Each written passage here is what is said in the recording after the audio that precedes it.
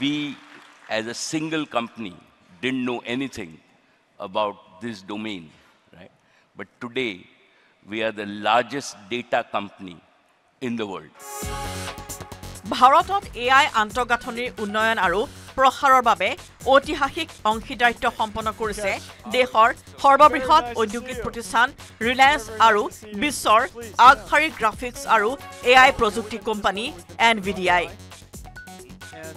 মুম্বাইৰ Jio world convention চেণ্টাৰত আয়োজিত এন ভিডিয়া এ আই সন্মিলন দুহেজাৰ চৌবিছত বৃহস্পতিবাৰে মিলিত হ'ল ৰিলায়েন্স ইণ্ডাষ্ট্ৰিজ লিমিটেডৰ অধ্যক্ষ মুকেশ আম্বানী আৰু এন ভিডিয়াৰ প্ৰতিষ্ঠাপক তথা মুখ্য কাৰ্যবাহী বিষয়া জেনছেন হুয়াং।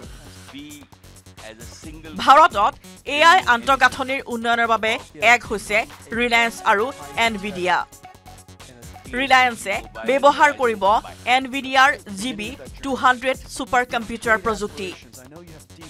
ৰিলায়েন্সৰ লক্ষ্য জিঅ'ৰ জৰিয়তে যিদৰে মোবাইল ডাটা সুলভ আৰু সহজলভ্য কৰা হ'ল একেদৰে এ আই তথা কৃত্ৰিম বুদ্ধিমত্তাৰ প্ৰযুক্তিকো ভাৰতৰ বাবে সহজলভ্য আৰু সুলভ কৰি তুলিব। ইয়াৰ বাবে ৰিলায়েন্স আৰু এন ভিডিয়া ভাৰতত স্থাপন কৰিব বৃহৎ পৰিসৰৰ এ আই প্ৰযুক্তিৰ আন্তঃগাঁথনি। জেনছেন হুয়াঙৰ সৈতে আলোচনাৰ কালত মুকেশ আম্বানীয়ে কয় যে জিঅ' মডেল প্ৰয়োগ কৰি কৃত্ৰিম বুদ্ধিমত্তাক সাধাৰণ ভাৰতীয় লোকৰ বাবে সুলভ আৰু সহজলভ্য কৰি তোলাটোৱে হৈছে তেওঁৰ লক্ষ্য।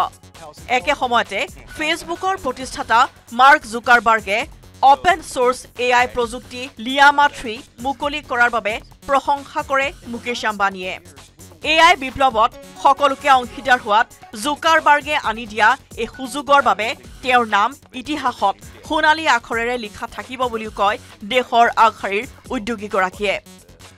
মুকেশ আম্বানী আৰু কয় যে যি সময়ত আমেৰিকাত প্ৰতি জিবি মোবাইল ডাটাৰ দাম পাঁচ ডলাৰ বিশ্বত গড় হিচাপত প্ৰতি জিবি মোবাইল ডাটাৰ দাম তিনি দশমিক পাঁচ ডলাৰ তেনে সময়ত ভাৰতত জিঅ'ই মাত্ৰ পোন্ধৰ চেণ্টত দি আছে এক জিবি মোবাইল ডাটা।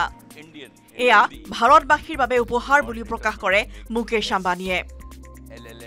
হুয়াঙৰ সৈতে হোৱা কথা বতৰাত মুকেশ আম্বানীয়ে কয় আমেৰিকা আৰু চীনৰ পিছতেই ভাৰতত four G B five G B আৰু ব্ৰডবেণ্ডৰ অন্যতম শক্তিশালী যোগাযোগ আন্তঃগাঁথনি আছে জিঅ'ই ভাৰতক যোগাযোগৰ ক্ষেত্ৰত বিশ্বৰ ভিতৰত এশ পঁচপন্ন সংখ্যক স্থানৰ পৰা এক নম্বৰ স্থানলৈ নিছে বৰ্তমান জিঅ' হৈছে বিশ্বৰ সৰ্ববৃহৎ data company N V D আই কৃত্ৰিম বুদ্ধিমত্তাৰ ক্ষেত্ৰত আৱিষ্কাৰ কৰা অকল্পনীয় প্ৰযুক্তিয়ে বিশ্বৰ লগতে ভাৰতৰ লোককো উপকৃত কৰিব বুলি জেনছেন হুয়াঙক প্ৰশংসা কৰে মুকেশ আম্বানীয়ে।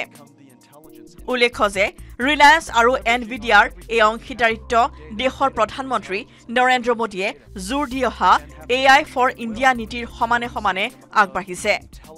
মোদীৰ এই পদক্ষেপৰ ভূয়সী প্ৰশংসা কৰে হুয়াঙে। তথ্য প্ৰযুক্তিৰ প্ৰতিভাৰে ভৰি থকা ভাৰতত এ আইৰ বিকাশ সহজ আৰু উপযোগী হ'ব বুলিও শলাগ লয় হুয়াঙে.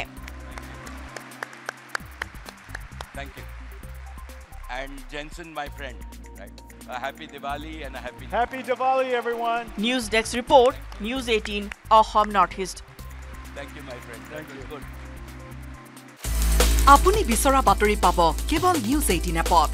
নিউজ এইটিন এপ ডাউনলোড কৰিবলৈ স্কেন কৰক এই Q R code Google play ষ্টৰতো পাব এই নিউজ এইটিন এপ